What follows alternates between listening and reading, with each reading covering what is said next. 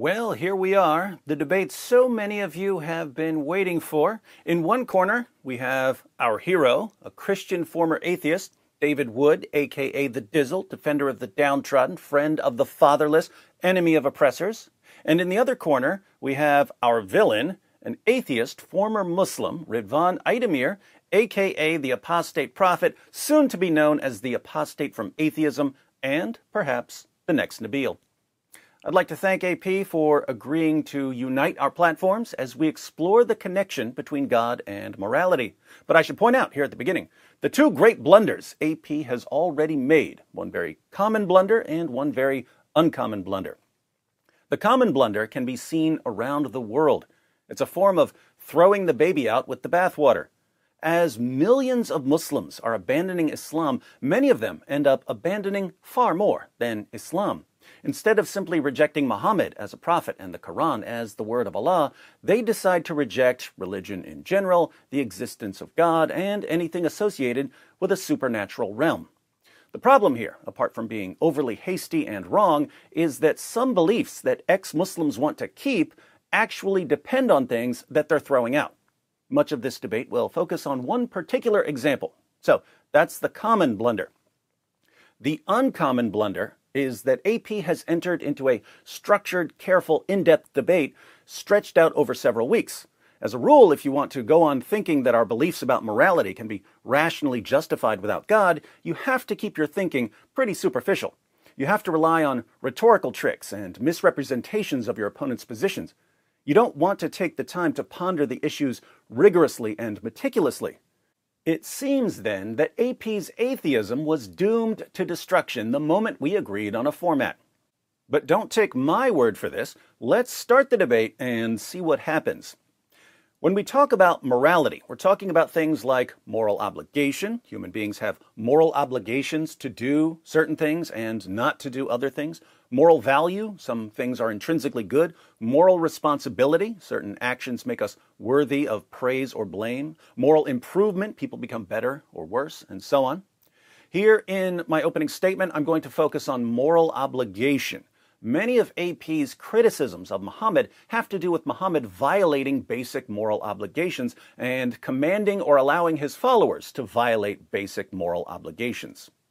But what are we doing when we say that someone who lived 14 centuries ago in a completely different part of the world should have followed certain moral rules that we somehow have access to?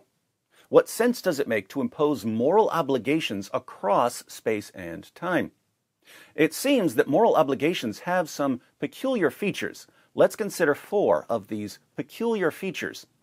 First, moral obligations are most naturally expressed and understood as authoritative commands. They're imperatives do this, don't do that. This raises an obvious question Who's issuing these commands? The answer to that question is extremely important because if the commands don't come from someone or something with the proper authority over us, we have no obligation to obey them. Second, moral obligations are objective, meaning that we can be right or wrong about them. If an old man thinks that it's perfectly acceptable to have sex with a prepubescent nine year old girl, the fact that he thinks it's perfectly acceptable doesn't make it perfectly acceptable. He's simply wrong. The wrongness of the act is a moral fact, and as the saying goes, facts don't care about our feelings. Now, how can there be facts about morality that are independent of what we think or believe? Moral obligations aren't the sort of things we find out there in the world. We don't find them with a microscope or a telescope. They're in our minds, and yet somehow independent of our minds. So, what's the basis of their objectivity and independence? Third, moral obligations are overriding, meaning that they trump other kinds of obligations. If the government makes a law ordering you to hand over Jews or Muslims so that they can be sent to concentration camps, your moral obligation not to treat your fellow human beings that way overrides your legal obligation to aid in their abuse or extermination. We have all sorts of obligations in our lives. Why would one particular kind of obligation, moral obligation, override all others. Fourth, moral obligations are universal. we apply them to everyone with a properly functioning mind. Commands like don't torture old ladies for fun apply to all sane human beings. If we hear that someone has been torturing old ladies for fun, we would condemn his behavior regardless of where he comes from, which religion he follows, or what his political views happen to be. Why are we convinced that the commands in our heads are somehow commands to all human beings? So, moral obligations have some interesting features, and a good theory of morality should clarify and explain why moral obligations have these interesting features. The problem for our atheist friends is that atheistic theories of morality don't clarify and explain why moral obligations have these features. Instead, atheistic theories of morality undermine our moral obligations and suggest that we're delusional about our moral obligations. That's why some of you atheists, as I was drawing attention to some very basic features of moral obligations, were thinking to yourselves, no, moral obligations aren't objective. No, they're not universal. Your metaphysics has mutilated your concept of moral obligation until someone does something to you, in which case you'll suddenly snap back to believing in objective, overriding, universal moral obligations. Fortunately, theistic theories of morality don't suggest that we're delusional about our moral obligations.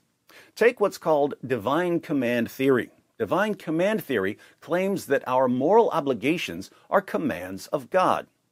Now, atheists tend to misunderstand this theory in two ways. One, they think that divine command theorists are asserting that you can only know what your moral obligations are if God gives you some special revelation like the Bible or the Quran.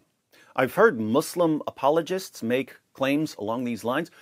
It seems to be fairly common in Islam to think that apart from God telling you something through some special revelation, you just don't know what to do. But outside of Islam, I've never heard a divine command theorist say that we can only know what our moral obligations are through something like the Bible or the Quran. There can be specific commands given in Scripture, but as far as general moral obligations are concerned, all rational human beings have some kind of access to them. Divine command theory is a philosophical claim about what moral obligations really are, what their nature is, what their status is, not about how we become aware of them. As far as how we become aware of our moral obligations, God can communicate through special revelations such as the books of the Bible, but this wouldn't be the only way that we learn about our moral obligations. God creates us with a capacity for understanding moral truths, just as He creates us with a capacity for understanding mathematical and logical truths. God can communicate His commands through the human conscience. The Bible talks about Gentiles who haven't received any special revelation obeying God's commands by nature because God's commands have been written on their hearts. The main way we learn about our moral obligations is by being taught. Think about a parallel with something like mathematics. People had to figure out mathematical truths down through history. But once they figured out mathematical truths, these mathematical truths were then passed down through teaching, education, your parents taught you numbers and basic operations. You learned more difficult concepts in school. Likewise, your parents taught you basic moral obligations. You learned more from society and so on.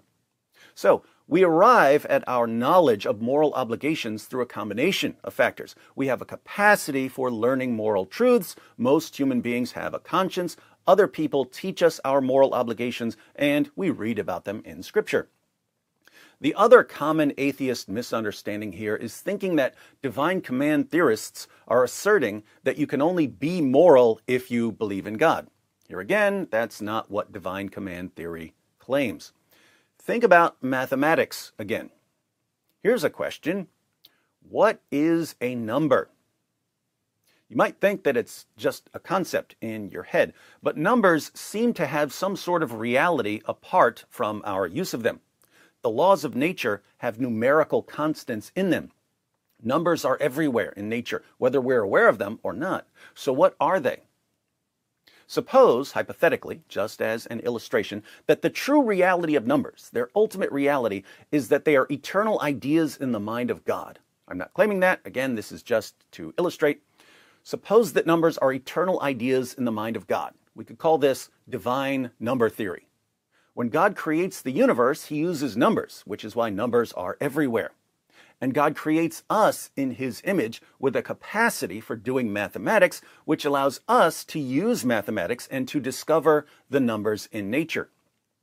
Notice, if divine number theory were true, you could still use numbers. You could still do math. You could still uncover the laws of nature, even if you didn't know that numbers are actually eternal ideas in the mind of God. You could still do math even if you didn't believe in God, because you've been created with the ability to do math regardless of what you believe about God.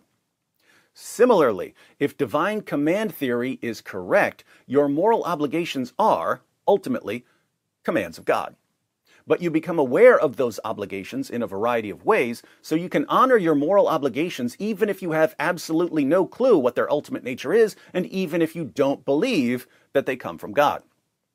Now, if we can honor our moral obligations without knowing where they come from, why do we need something like divine command theory?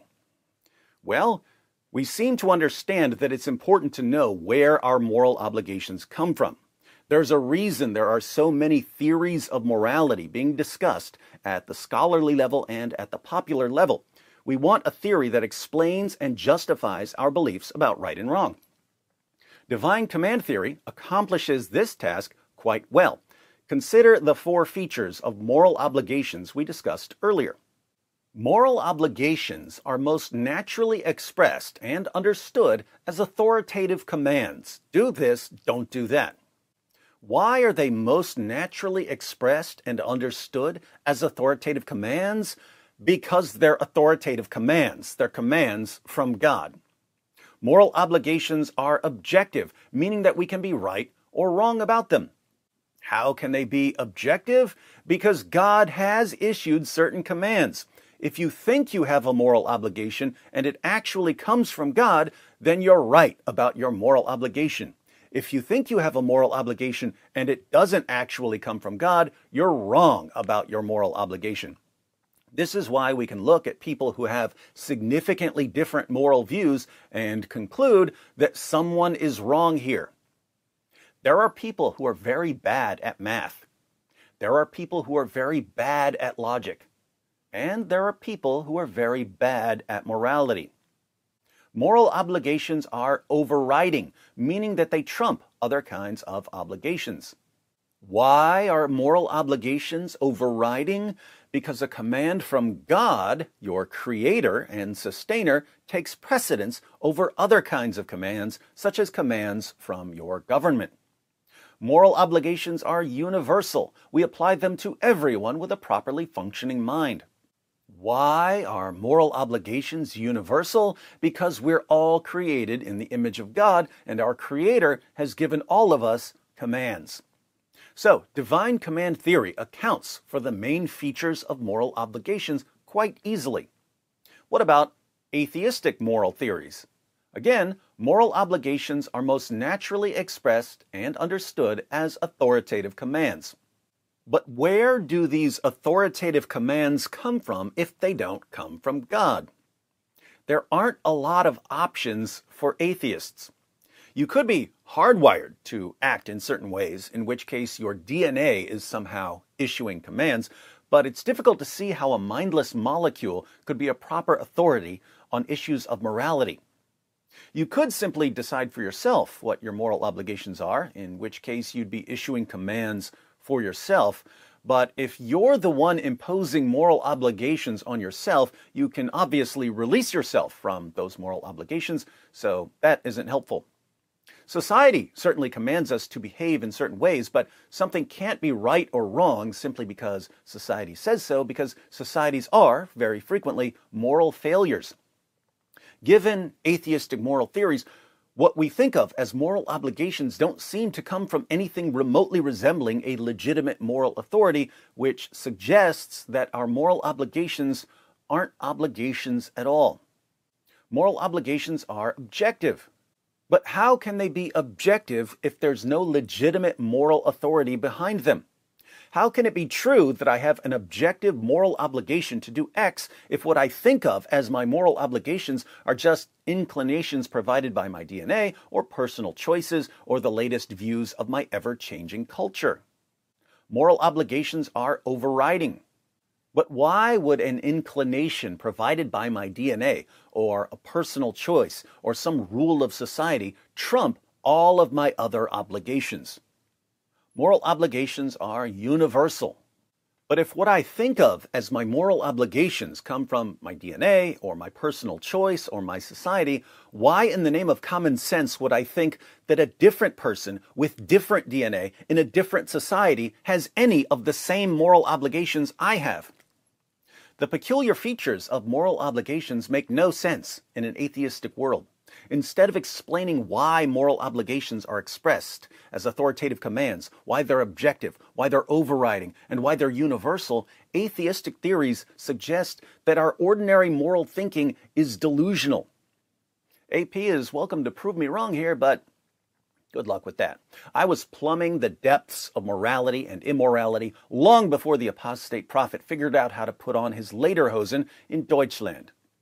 When I say that moral obligations just don't make sense in an atheistic world, this isn't David Wood, the Christian, insulting an opposing position. It's how I ended up viewing morality when I was an atheist. Let me describe my thinking back then, and AP and the rest of you can tell me where I went wrong. Here was the worldview of David the atheist. We've got this massive universe, and over here, there's this little blob we call the Milky Way.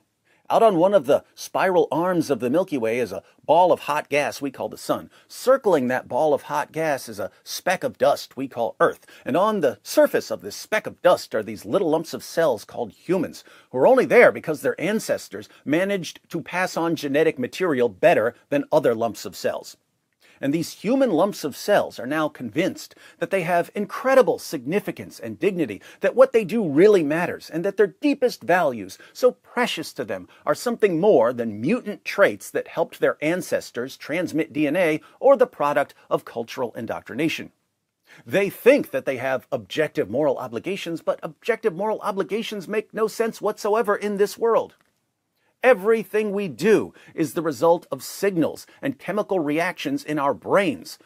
But our brains are physical. They're made of particles, and particles are governed by laws of nature, which means that all of our decisions and actions were determined long before we were born. How can we possibly think of ourselves as morally responsible for anything we do? Notice, all I did there was apply the exact same reasoning to morality that I had already applied to religion. Earlier in life, I thought to myself, they tell me to believe in God. Some of them say that they can feel the presence of God. But I see absolutely no evidence for the existence of God, so I'm not going to live my life as if there's a God, no matter how much they don't like my skepticism. Then eventually I thought to myself, they tell me to believe in their moral values. Some of them say that they feel this or that is right or wrong but I see absolutely no evidence for their moral values. So I'm not going to live my life as if their moral values are valid, no matter how much they don't like my moral skepticism. Some atheists are similarly consistent. They apply the same skepticism to moral claims that they apply to religious claims. You can read some Nietzsche or some J.L. Mackie for examples. Far more atheists, however, are extremely inconsistent here. They apply one level of skepticism to belief in God, and they reject the existence of God. But they don't want to reject belief in objective moral values, so they radically lower their level of skepticism so that they can go on believing in their moral claims. Inconsistency at its finest. God and objective moral obligations stand together or fall together. Nietzsche realized that. He tried to live consistently by rejecting both God and moral obligation. Then he went insane, although syphilis may have had something to do with that. I tried to live consistently by rejecting both God and moral obligation. I also started going insane. But a little before I was carted off to my third mental hospital, I re examined the evidence and I chose the other consistent path God and moral obligation. And the world suddenly made sense. Now, before you atheists misunderstand me here, I'm not saying that you're going to go insane. That's reserved for a particular kind of people with a maniacal obsession for going wherever their positions lead them. I'm saying that in order to avoid believing in God and to avoid going insane, you're going to be inconsistent. And inconsistency is not going to win this debate. Prove me wrong, AP, if you're able.